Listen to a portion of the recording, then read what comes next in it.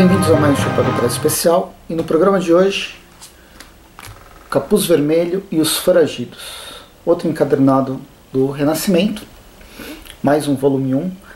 Esse daqui tem uh, Red Root and the Outlaws Rebirth 1 e a mensal de 1 a 6, tem 164 páginas. É o spin-off do, do Renascimento e o primeiro, o primeiro arco da, das histórias. O roteiro é do Scott Lob Lobdell, que é controverso, tem gente que tem gente que gosta, ninguém adora ele. Tem gente que gosta, tem gente que odeia. A arte do Dexter Soy e as cores da Verônica Gandini. E tem uma história, eu gostei, gostei dessa, dessa revista. Aqui um pouco da arte. Bem, vai ser focada principalmente no Jason, né, no, no Capuz Vermelho. E para quem não conhece, esses foragidos, eles eram conhecidos como renegados aqui no Brasil. É um grupo que tem desde antes da crise nas infinitas terras. O Batman sempre teve ligado a esses personagens como se fossem uh, alguns anti-heróis, mas no geral são personagens tipo B, tipo C do universo DC que se reúnem num supergrupo. Durante. Uh, eu cheguei a ler uma parte dos, dos Renegados quando o Batman não estava junto no período próximo de Zero Hora. Aí tinha uns personagens do tipo Erradicador, o Geoforça, a Halo e a Katana, outros personagens. Esses são os Renegados que eu conheço, embora eles tenham, eles tenham uma vida bem maior. Durante os 952, os personagens foram remodelados, como a maioria deles do, do universo DC, e os, esses renegados viraram foragidos, mas foi numa, numa historinha que eu sinceramente não gostei. O Capuz Vermelho ele era o, o principal, mas ele estava junto com o Arsenal e com a Estelar, numa numas histórias meio muito bobinhas, muito é, com muita exploração sexual e com uma, uma história bem rasa, bem desnecessária.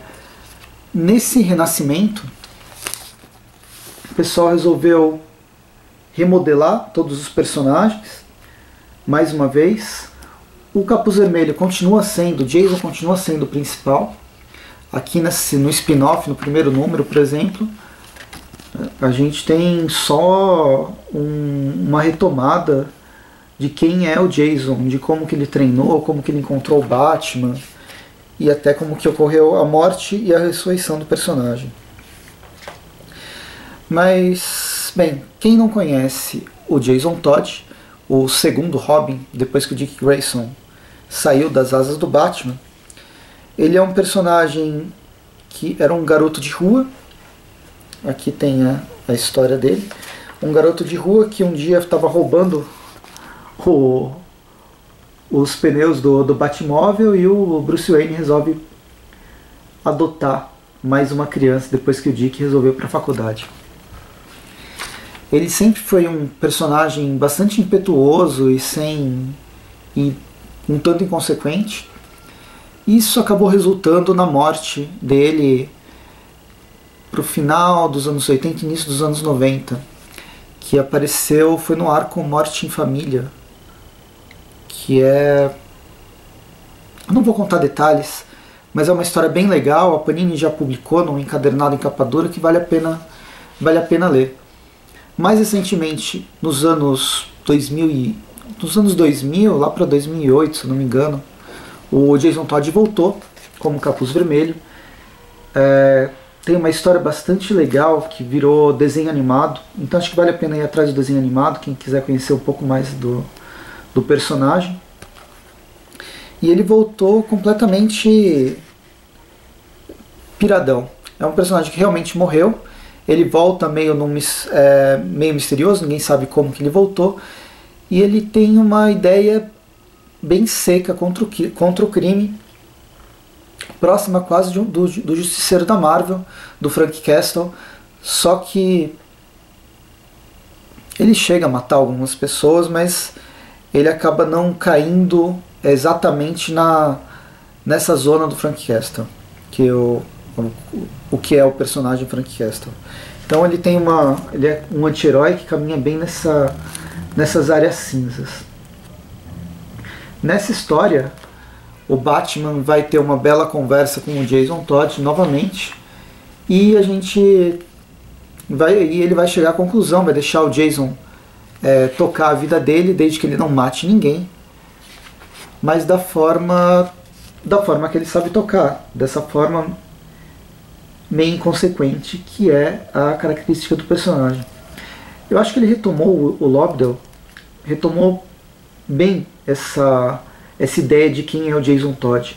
E aqui ele vai entrar para ser meio que um agente duplo, meio que o, que está acontecendo com Asa Noturna, mas um agente duplo da máfia do, do Máscara Negra.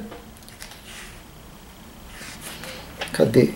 Uma, aqui tem uma, uma imagem do Máscara Negra que está tentando subir de subir de nível nos, entre os chefões de crime de, de Gotham City. E aí, fazendo esse jogo duplo, fazendo esse, essa infiltração, uh, ele vai acabar se juntando com outros personagens que aqui resume bem. É Artemis, tá desse lado? Não, aqui. Artemis, uma amazona que eu não lembro de ter visto no, no 952, na verdade, a última vez que eu vi, é, eu conheci ela no período do Mike Deodato, quando ele estava fazendo a Mulher Maravilha nos anos 90. A Mulher Maravilha Diana tinha parado de ser Mulher Maravilha, pelos motivos da época, e a Artemis tomou o posto de heroína. Ela também era uma heroína bem violenta, como tudo era nos anos 90. Esse machadão aqui não vai me deixa mentir. E no final da fase do Deodato ela acaba morrendo. O, uma segundo, um segundo momento que eu encontrei com, com a personagem foi na, naquela saga Noite Final, como zumbi também. Então ela continuou morta. Não sei em que momento ela, ela, se, ela foi ressuscitada nos 952, ou se essa é a primeira encarnação dela nesse pós-Flashpoint. Mas enfim, ela é uma personagem uh, que vai. essa anti-heroína que vai entrar para esses foragidos, para esses novos renegados. E o último personagem é o Bizarro. É mais uma versão do Bizarro. Vamos ver a primeira vez que ele aparece aqui. Aqui acho que tá bom. É um outro clone do Superman. É, bem deteriorado, aquela mesma. O que o Bizarro sempre foi. E esse aqui é uma nova versão de outro tubo de ensaio que o Lex Luthor deve ter feito milhares de bizarros e esse aqui acabou caindo nas mãos do, do Máscara Negra. Tem a luta, todo mundo luta, a, as histórias é, elas vão seguir nessa, nessa linha de herói lutando contra herói e são heróis controversos, então não dá para se dizer nem tanto quão heróicos eles são. Mas esse perfil do Jason, que é o mesmo, se for ver, da, da Artemis, eles vão guiar essa narrativa rápida, com várias cenas de ação.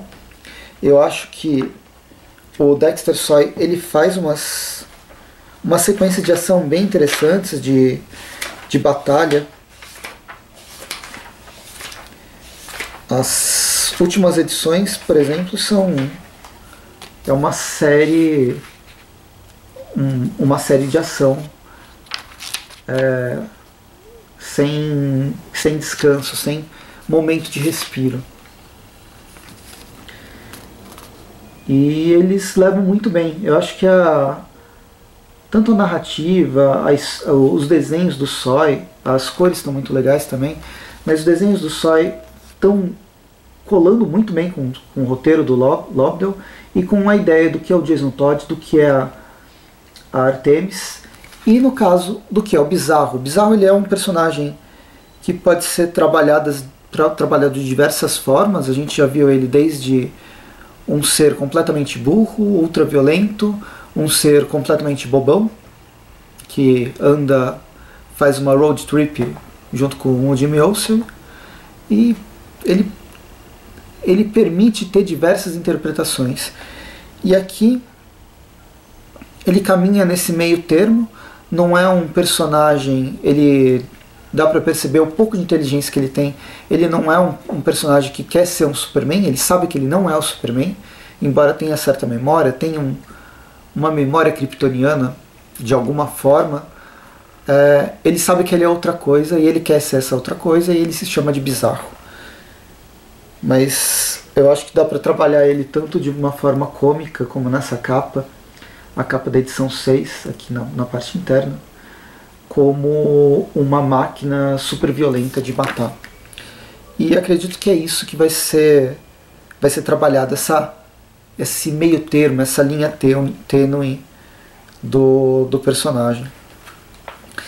Eu não estava esperando nada. O, o Jason Todd, esse Capuz Vermelhos Foragidos, eu nunca gostei. Nos 952 eu não consegui ler, achei muito chato, assim, muito besta as histórias. E durante a fase essa, o ressurgimento do, do Jason nas revistas do Batman, antes do Flashpoint. Eu gostei de algumas participações especiais, mas nunca engrenei ele como um, alguém que ia levar um título à frente. Nessa repaginada dos 950, dos 952, não, é uma repaginada dos 952, que é o Renascimento, eu achei bastante interessante, achei divertido, uma história sem pretensões nenhuma, não vai mudar o mundo, mas é uma história divertida, acho que vale a pena é, ir atrás. Então, uh, vou ficando por aqui, espero que tenham gostado do vídeo, curtam o vídeo, assinem o canal e comentem o que, que vocês acham do Jason, se vocês já viram a Artemis em outro momento, que não esses dois que eu falei, da, da fase dela como Mulher Maravilha, depois da Noite Mais Densa, e se vocês gostam desses personagens, o que vocês acharam desse encadernado? E a gente conversa aqui nos comentários. Então, boa leitura, bons quadrinhos.